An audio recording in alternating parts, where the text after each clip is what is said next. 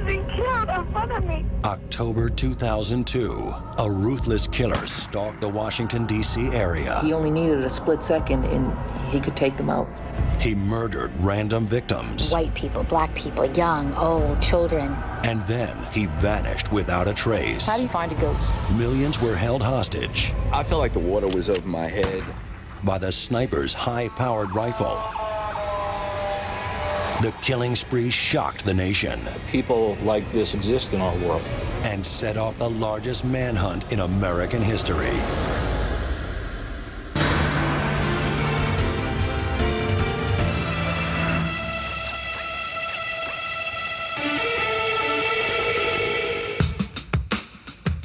Montgomery County, Maryland, borders the nation's capital, but it doesn't share Washington, D.C.'s violent reputation.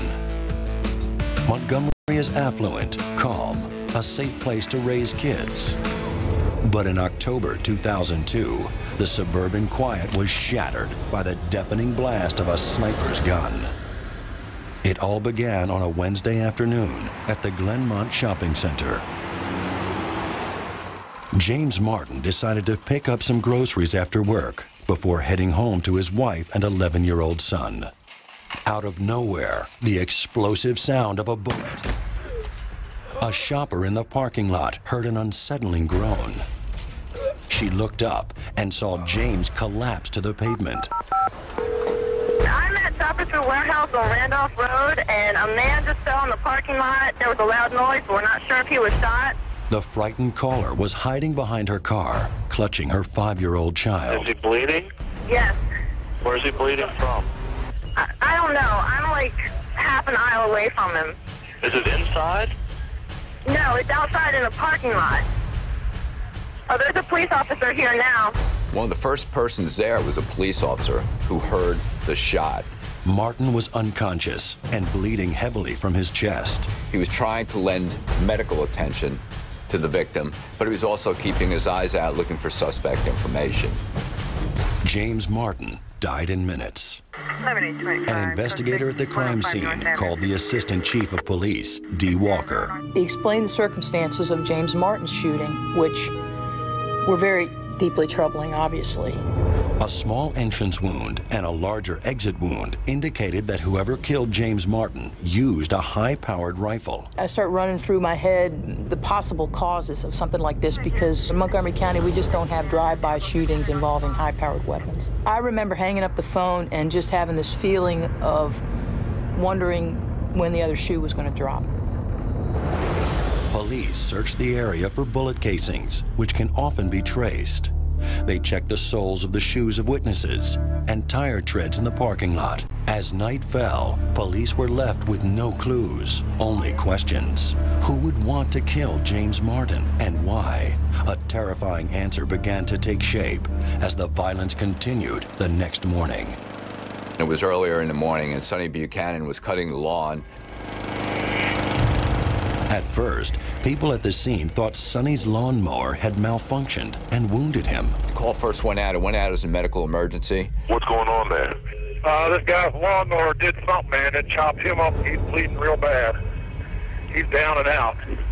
So you had fire rescue responding to a medical emergency. But when paramedics arrived, it was clear this was no accident. Sonny was rushed to a trauma center, but by then, his heart had stopped and was completely empty of blood. A surgeon said he bled more than anyone he had ever seen. Sonny Buchanan was the son of a former Montgomery County police officer, so it kind of hit home. Sonny Buchanan's death was only the beginning of the bloodiest morning in the Montgomery County Police Department's history. At 8.07 a.m., a yellow cab pulled into a gas station on Connecticut Avenue. Just 10 feet away, Carolyn Namrow was keeping an eye on her toddler as she gassed up her car. Suddenly, she heard a loud boom.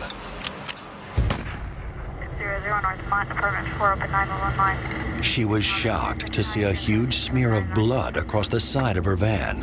And then, a sight she would never forget. The taxi driver was staggering towards her with an enormous gunshot wound in his chest. Prem Kumar Walekar was dying before her eyes. What, ma'am? Oh my God, Ma'am, listen to me. What is wrong? A man has been killed in front of me. How is he being killed in front of you? I don't know. Mr. Walekar was shot um, pumping gas into his taxi cab.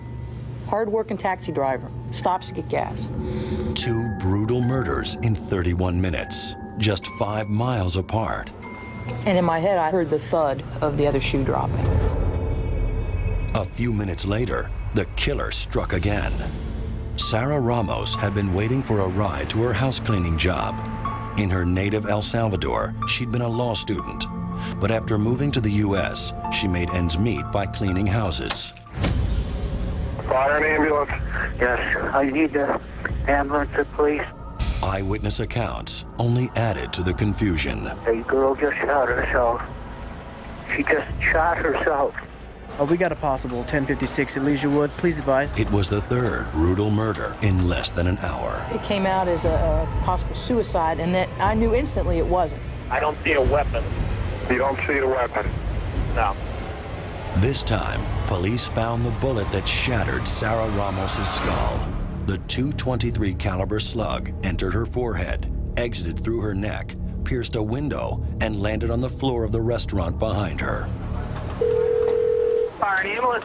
Chaotic radio traffic filled the airwaves as emergency response teams raced to keep up with the murders. unconscious. She's got blood coming out of her nose and her mouth. And where? North and Connecticut Avenue. But the killer kept coming. His next victim, a full-time nanny who was cleaning her car at a gas station. Like, like a bomb? Yeah, but wasn't a bomb. I mean, it's like that kind of noise. It was like a, like a gunshot, maybe? Kind of. Montgomery County had never seen anything like this. We're having a shooting about every half an hour. All five killings were clustered in 10 square miles of Montgomery County. The yearly homicide rate had just shot up 30%, but there was yet another incident in the same area. The day before, employees at a Michael's craft store heard a loud crack and then found a bullet hole in their window. The round just went high. It actually entered at about the six foot level in the window. They've recovered some fragments from an artificial flower in the store. So far, police had found no connection between any of the victims. Different ages, different sexes, different races of the victims. Uh, that was the most uh, troubling part. And there had been no secondary crimes, like robbery, in any of the shootings. Maybe it was a ticked off dad who had, had lost custody of his kids or a terrorist. We knew we had to counter this threat, and we knew we had to do it immediately. A sniper, or possibly a team of snipers, was stalking the people of Montgomery County. So right away, we had to put all our assets out. We had to put them out immediately, and we had to go with a quick plan. SWAT teams were deployed throughout the area as police prepared themselves for a battle on the streets. We were going to engage this guy, that he was pulling us along, and we were going to end up in a hot confrontation with him. While some police snipers waited for a possible shootout, other snipers helped with the investigation. We sent out our trained snipers to go to each location to come back and report what they believe happened in these locations. The locations were all public areas, parking lots, and gas stations. Undercover cops flooded these areas in the hopes of catching the sniper in the act. At each crime scene, the detectives faced the same nagging question. Where could someone with a rifle be hiding? There is no grassy knoll, there is no forest or woodland, there is no cover. And for no lookouts to come out, we realized that maybe a vehicle could be involved at this point in time. The one and only lead police had so far seemed to support this theory. We had a witness who had seen a white panel truck in the area where uh, the victim up at Leisure World had been. Uh, apparently, this witness had heard the shot, turned around, and saw that white panel truck. Suddenly, it seemed as if white vans and box trucks were everywhere. Police knew they would find more clues in the bodies of the victims. There were now five corpses at the medical examiner's autopsy office. When finished, the autopsy results could speak volumes. We had to look at if there was any elevation, which would lead us to believe they were taking these shots from rooftops. And we also needed to know what type of damage occurred to these victims on that day. But even before the forensics could be completed, another panicked call came in. Yeah, we get a guy just shot out here. That night, Pascal Charlot, a 72-year-old Haitian immigrant, was gunned down while crossing a street. He was right over the Montgomery County line in Washington, D.C. I went to the scene on that, and it kind of led me to believe like maybe they saw that this individual was in Washington, D.C., and they wanted to extend the killing field to another location within the metropolitan area. The quiet city of Rockville, Maryland was about to become the epicenter of a story that would grip the nation, and a small police department would become the headquarters for the biggest manhunt in U.S. history. We felt like we'd stepped off a cliff and uh, we didn't know how it was going to end. On Friday, October 4th, 2002, Washington, D.C. area residents awoke to a new reality. Pumping gas, going outside, you're much more aware of what's going on around you. The fear was palpable. There was just this sense of, um, of foreboding uh, as people went about doing their work. Six innocent people had been gunned down in less than 48 hours. Police had no suspects, no motive, and very few leads. Now, everyone felt like a target. When people went to put gas in their car, they would bob and weave. People walk down the street, they wouldn't walk in a straight line. Police Chief Charles Moose appointed his most experienced detective to lead the investigation, Barney Forsyth. The chief, of course, asked me, he says, what's the link? And I said, Chief, at this point, we don't see a link. And so that's the commonality, is that there is no link. And of course, that's one of the most difficult type of cases to deal with. Chief Moose made an early decision to deal with the crisis by presenting as much information as possible to the public. They still all appear to be random victims, don't appear to be anyone's enemy, don't appear to be involved in anything coordinated, just simply random targets. Schools went into lockdown with armed guards out front. Helicopters were everywhere. Meanwhile, the autopsy results showed a consistent pattern. In four of these individuals, it was a center mass shot. The bullets came from a long-range rifle, an AK-47, or a Bushmaster. These rifles that are military rifles, they're built to kill. They're not built just to hurt somebody, they're built to kill them. Ballistics experts confirmed that these were military rounds two 23 caliber bullets fired by a rifle. And it had like a sunburst effect. It goes in small and then it gets wider as it goes through. So what you end up with is that all those organs that are in that range of that cone get injured whether they get hit directly by the bullet or not. The Bureau of Alcohol, Tobacco, and Firearms did an analysis. We looked at the different rounds, the way the round uh, hit the victim, and that helped us figure out where the shot may have been taken from. The shots were not coming from rooftops. Somehow, the killer was finding a way to hide in plain sight. But I couldn't see how they could escape so quickly. Investigators began to believe the sniper was shooting from a vehicle, which led to a theory that a pair of shooters might be involved. For the purposes of shooting, you want to have room available so you can have some mobility. And that means when you're behind the wheel, you don't have that kind of mobility. The idea that the armed sniper was hiding in a car spread fear like wildfire. Within the past year, Washington area residents had lived through the 9-11 attacks and the anthrax scare. Now, they face the possibility that a team of terrorists was hunting them down. The Washington Post, on the front page, says snipers and Al-Qaeda. Those questions were being publicly asked. That afternoon, the sniper turned an awful situation into a nightmare. He widened the terror. Stop 2911, what's your emergency? Um, we've had a lady shot in our parking lot. This is Michaels in Fredericksburg. When 43-year-old Carolyn Seawell was gunned down in Virginia, fear reverberated across the entire region. Get away from the window. I'm sorry. Where's the person at? She's laying in the parking lot, sir. While laying on the pavement, Carolyn prayed that she could live for her two kids. Say that again, honey. She's laying on the ground between our store and Michael's, and she is moving her arm. There's a lady standing over her. There's a lady standing with her. She would become the first survivor of the sniper's long-range bullet. This was the second shooting incident at a Michael's store. Investigators immediately seized on the possible link that could lead to the killer. So we looked at disgruntled employees, people that maybe had been terminated, some connection between the Michaels in Maryland and the Michaels in Fredericksburg. Um, of course, nothing was really um, developed. There was nothing there. There was so little, in fact, at every crime scene. After each killing, the shooter vanished into thin air. Investigators were mystified.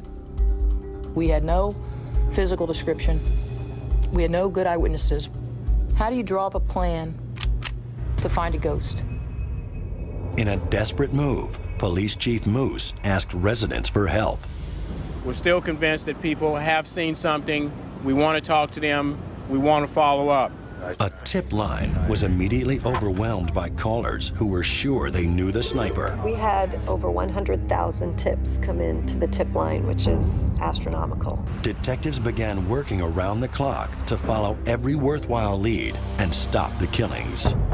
Meanwhile, Drew Tracy scrutinized the sniper's every move in search of a pattern. They were close to major roadways. We realized there were strip malls, and we realized that certain st stores were consistent at these places. We also realized that they knew the traffic patterns in the area of Montgomery County. Rather than get stuck in heavy southbound traffic, the killer, or killers, traveled north after a morning shooting. They went to the path of least resistance. Based on those movements, police created a plan to trap the sniper it was called the concentric circle scheme. An immediate response team would be ready to deploy within one minute of a 911 call. If we got the information within a minute, the most they could have gone was a half mile to a mile, whether it was on foot or in a vehicle. Police teams would then create a gauntlet consisting of a series of widening circles around the area. And our goal was to be on scene within two to three minutes immediately after receiving information. And basically, we would try to roadblock every one of these locations with a uniform presence. We would flood internally with plainclothes operatives. The roadblocks began to spring up everywhere. We needed to lock them into a certain location. Police searched white vans and every other suspicious vehicle.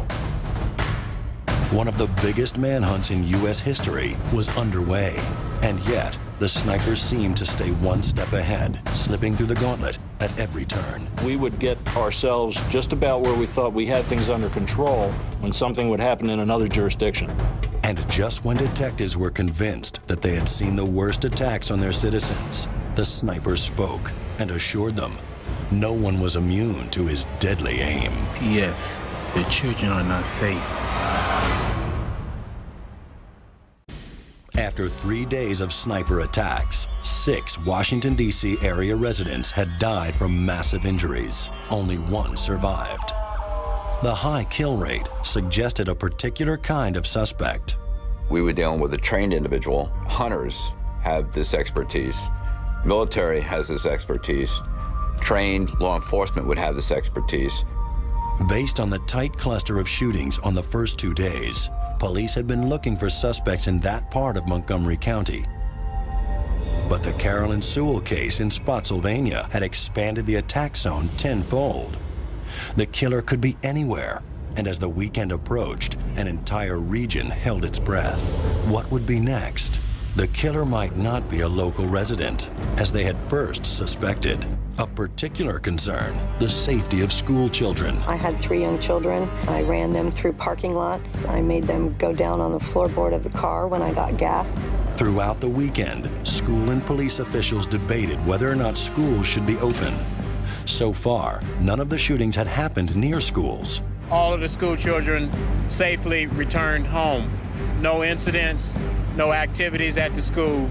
Officials decided that schools would remain in session, but kids would stay indoors. I had my kids telling me, Mom, you have to go to work, you have to go to work till you catch them. We need to go back out for recess. So, you know, it's a different perspective, but it was all that you could think about. 13-year-old Iran Brown had been kicked off his school bus the week before.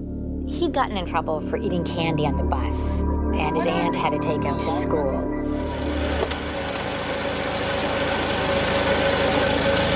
Iran's aunt dropped him off at school an hour early because she had to get to work. No incidents, no activities at the school. Uh, very safe day. for young people. She turns around and there he is lying on the ground, bleeding.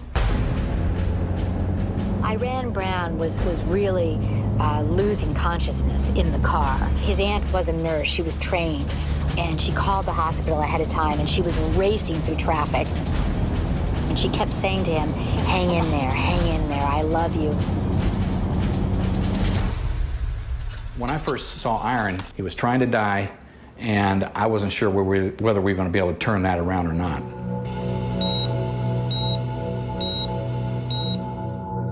This is our home. This is our community. We, we took an oath to protect and serve. And these guys come in and make a mockery of that. But stepping over the line, shooting a kid, I guess it's getting to be really, really personal now. Many were startled to see the police chief cry, but those close to the investigation understood. It feels like failure. I mean, it is. That day, Chief Moose asked the federal government for help. The investigation changed dramatically at that juncture. The FBI brought its vast resources to search for the serial killer. A $200,000 reward was offered for information leading to an arrest. Back at the scene of Iran Brown's shooting, investigators were conducting a forensic walk, stepping slowly shoulder to shoulder through the area. And two of them discovered what they thought looked like um, a flattened out area in the shrubs where maybe somebody had been laying, and they pursued that area much more intensely and with a metal rake found the shell casing. They also found a pen barrel with the ink cartridge removed. They would later check it for DNA. But the biggest find of the day was a mysterious tarot card. And it said, for you, Mr. Police, code, call me God, do not release to the press. So they were using the code, call me God. It was almost like a calling card saying that it's us again and we did it. At that point in time, they did not ask for anything, and that's a scary situation. The suspects made it very clear uh, that they did not want the media notified with regard to this. The task force wanted to honor the killer's request in order to establish communication, but the media was everywhere. No secret was safe. One of the outlets used a hydraulic camera and they raised it up two stories and they shot through that little break in the blinds and they got investigatively sensitive information off one of the tactical boards where we were tracking some things. And they sent crews out there. We'd have cops calling in saying, a media truck just pulled up. Police were determined to keep the tarot card evidence away from the press. The next day, the tarot card information was leaked, and it pretty much made the front page of the Washington Post. This is the kind of reporting uh, that, while I understand wanting to get a big story, can be very devastating to a case. Just when the entire operation seemed hopelessly stranded, a powerful breakthrough lifted the spirits of the investigators. We have been taking care of a young man. Iran Brown, the 13-year-old shot at school that morning, would survive. Shell casings from Iran Brown's shooting pointed to a Bushmaster rifle, a weapon which could be lethal even in the hands of an amateur. Thank you, Chief. Sorry to keep everyone waiting tonight. I talked about uh, that you don't have to be have a military training or be an expert marksman with this gun. The previous victim had been shot in the abdomen. After I made that statement, the next victim was shot in the head. Almost as a message, if, if you don't think I'm that good, watch this. Dean Harold Meyers was a 53-year-old civil engineer. He had won the Purple Heart after being shot in Vietnam.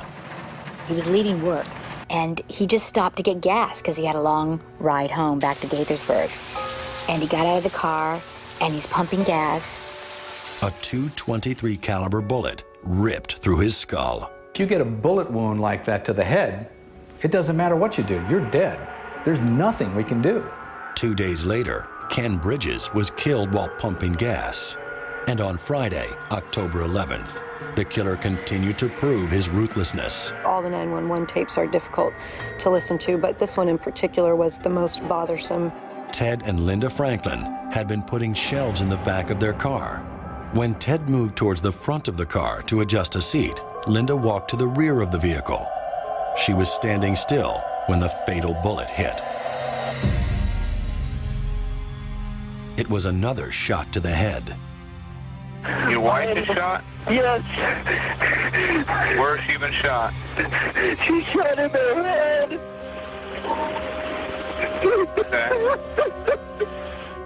The right side of Linda Franklin's head was completely blown off, and part of the spatter actually hit Mr. Franklin. He went to her side and called 911, Linda Franklin was the 11th victim in the Washington, D.C. area. and we felt with each new one that we weren't being successful at doing our job and protecting this community. But finally, someone caught a glimpse of the sniper. Now, that was the first good information we had of a possible suspect, as well as a good descriptor of a vehicle. Part of a, a cream or white colored Chevy van. On the net. The brutal slaying of Linda Franklin took the fear in the Washington, D.C. area to a new level. It was the 11th shooting in 10 days. Even worse, Linda was killed in front of her husband. Just to have your family member present on the scene of the shooting was a first. But this time, there was an eyewitness. Matthew Dowdy said he was walking out of the Home Depot when he saw the killer. A uh, Mideastern style male, complected, crouching down, taking a shot with an AK 74. He described a white or cream colored van with a burned out taillight. Now, that was the first good information we had of a possible suspect, as well as a good descriptor of a vehicle. An alert went out to the public. We do want people to continue to watch for things that are out of place, strange behavior, report that. I'm pleased to say that people continue to call our tip line. There are more bad guys than there are cops, but there aren't more bad guys than there are good guys. So when you put the good guys out there and you ask them to help you with a task, it's a force multiplier, and that's what we were counting on in this case. Two days later, a detective was working late, reviewing the surveillance tapes from Home Depot. And then I received a call from Fairfax County PD. We have uh, some internal video uh, footage at the Home Depot that shows this individual inside during that period of time. At 9:21 p.m., Dowdy appeared on the in-store security videotape, three minutes after the shooting. And they realized that this was a, a false lookout and that uh, false suspect information. The eyewitness turned out to be a hoax, just someone looking for media attention. Two weeks after the shootings began, the investigators were back to square one. All the suspects they had under surveillance during Linda Franklin's shooting could now be eliminated. Sleep deprived and frustrated, the investigators knew that to catch the sniper, they'd have to work even harder. You just couldn't walk away from the case. I didn't want to go off shift. Um, you know, your boss has had to send you home. Uh, get your sleep, you're going to have to come back tomorrow. It's a new day. And you'd go home, and on your way home, there was another shooting incident just around the corner. My dear, sweet administrative aide, Sue Austin, had gone out early on to Kmart and bought me some socks because I couldn't even get home to do my laundry. Before this case, Barney Forsyth had been planning to retire from the police force. But those plans were now on hold. It would have been very difficult for me to walk out the door and turn this over to somebody else.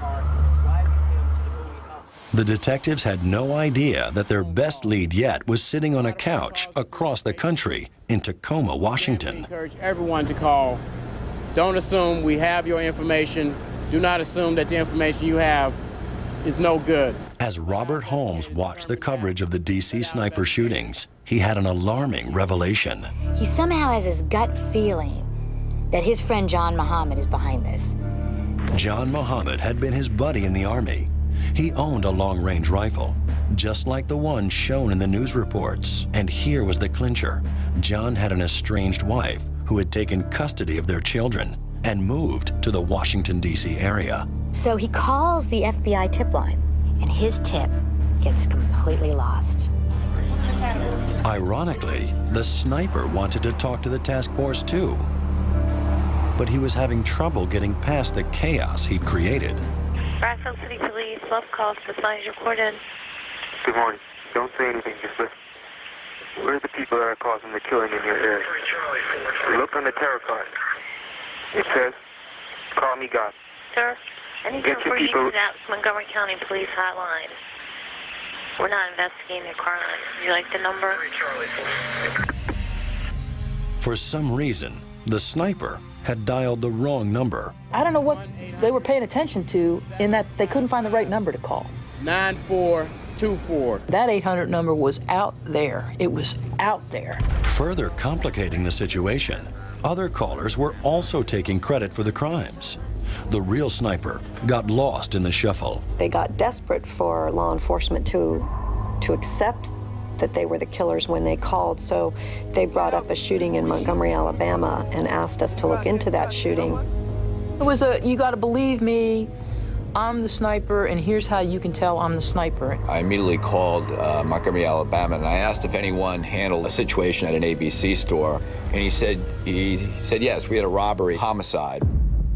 Although the case was unsolved, the gun used in the crime was not a Bushmaster, and the sniper wasn't known to rob his victims. It wasn't a strong lead. Saturday, October 19th. Jeff and Stephanie Hopper were driving back to their home in Florida.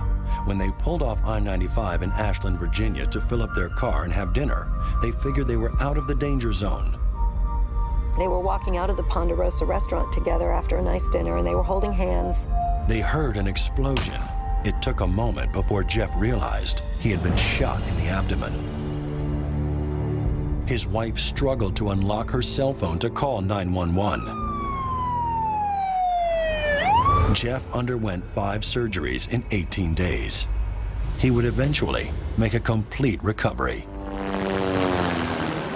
In the nearby woods, an ATF dog found a bullet casing and a note tacked to a tree. The note was tucked inside a Ziploc Halloween bag.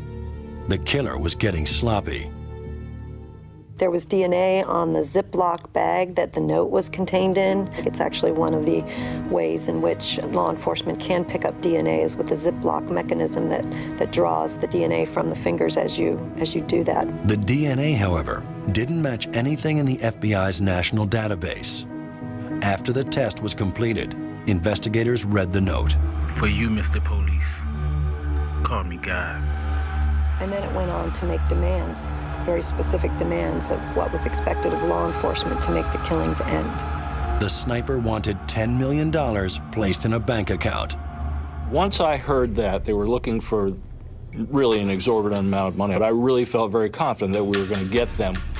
The sniper also wrote that at 6 a.m. he would call the Ponderosa restaurant where Jeffrey Hopper had been shot. We missed the time cutoff because of the DNA analysis. So Chief Moose went out with a very specific communication in a press conference following the discovery of what was on the note. To the person who left us a message at the Ponderosa last night, we do want to talk to you. Call us at the number you provided. Thank you. On the morning of October 21st, the call came. Finally, the police and the sniper were in direct contact. Is this the Ponderosa? Um, who is this? Don't say anything. Just listen.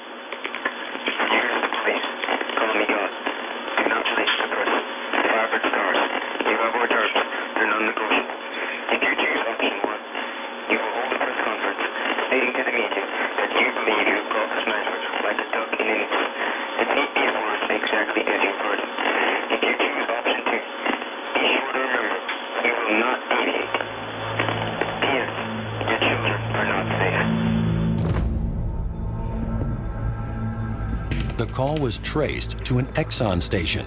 33 minutes later, two men were arrested, one with a white van. But these men were simply two illegal immigrants near the wrong phone at the wrong time. The task force regrouped and focused on the strange wording in the sniper's last message. You caught the sniper like a duck in a noose. Um, we didn't know what that meant when we first read it. We, uh, we all looked at each other cross-eyed and didn't know what, what those words meant. The sniper's note mentioned the Alabama shooting once again. A second call to Montgomery, Alabama revealed more information. A gun magazine had been dropped at the crime scene. It had a fingerprint on it, but local officials said they had not processed the print. And we were never able to actually check that print because we don't have the resources here in our town. The magazine was immediately flown to Washington.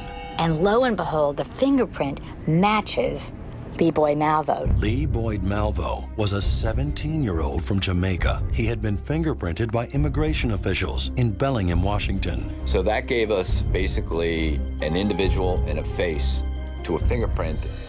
Police were convinced that the teenager had an accomplice. If we could just have 24 hours with this information before the media gets a hold of it, that we could catch them. But if this were to leak, they would be in the wind and probably not surface for a very long time.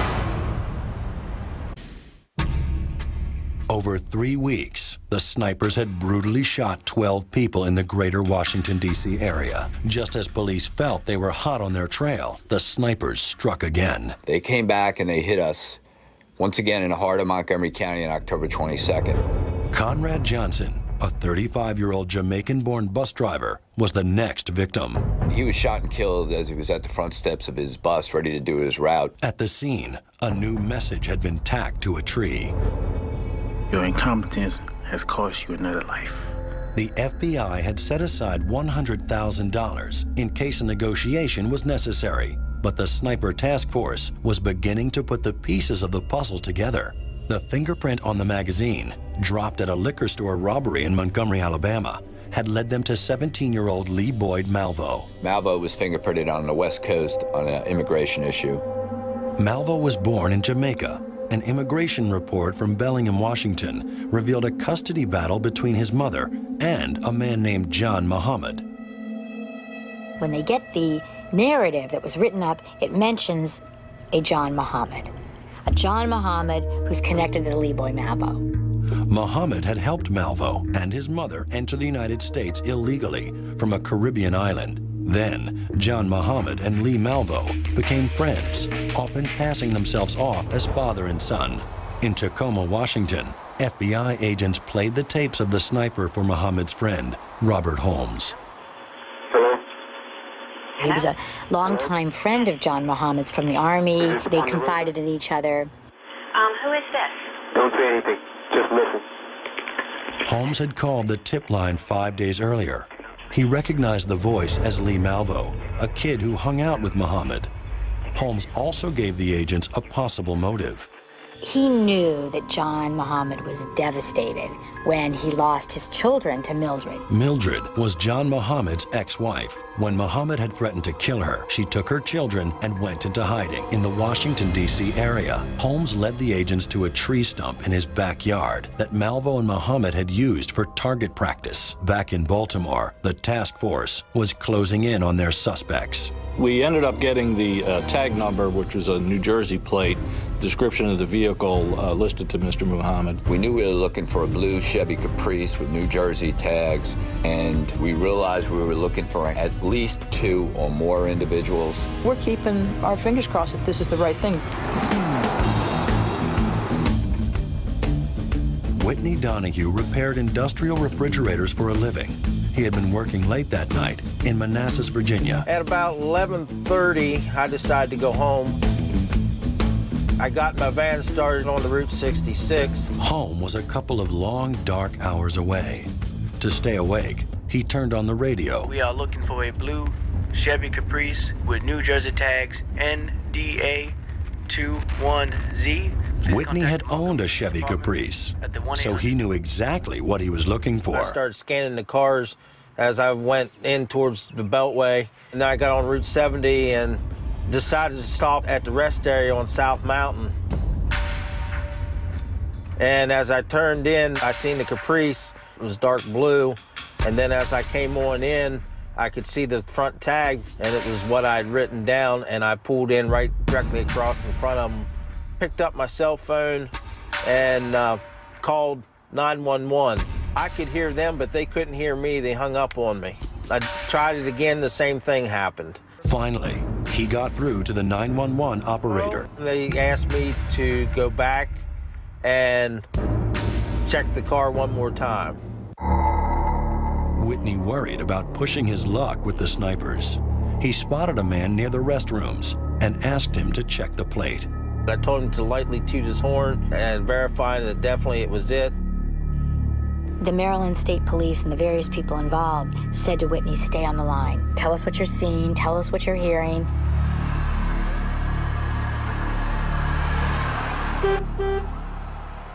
And then this huge command operation came into place. I remember uh, driving as fast as I can to the location. I remember seeing helicopters in the air. And I remember coming up, it was a very cool, crisp night. It was very quiet up there. They shut down the highway. Tactical teams prepared for a shootout. These are the same individuals who trained together and worked together for the prior two and a half to three weeks. They planned the takedown, they got in the wood line, and they executed.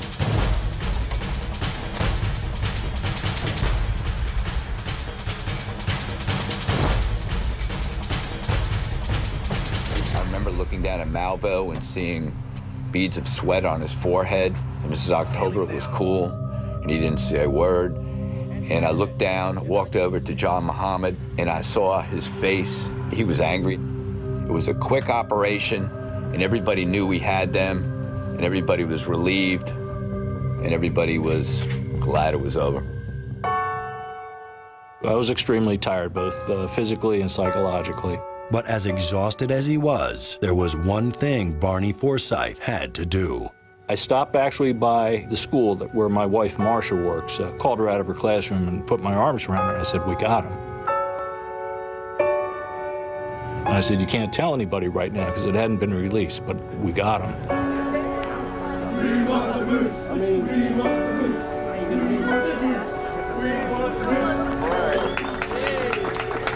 We're gathered to share some information with regards to a sniper situation that has been occurring in the Washington metropolitan area. At approximately 1 o'clock a.m. today, a motorist called 911 to report seeing a 1990 Chevy Caprice. And I was home at the time watching the news, and my kids were there, and they were, you know, jumping up and down. Does this mean we're going to have recess again? We can at least say that there's some family that's going to be together tonight because we got it done.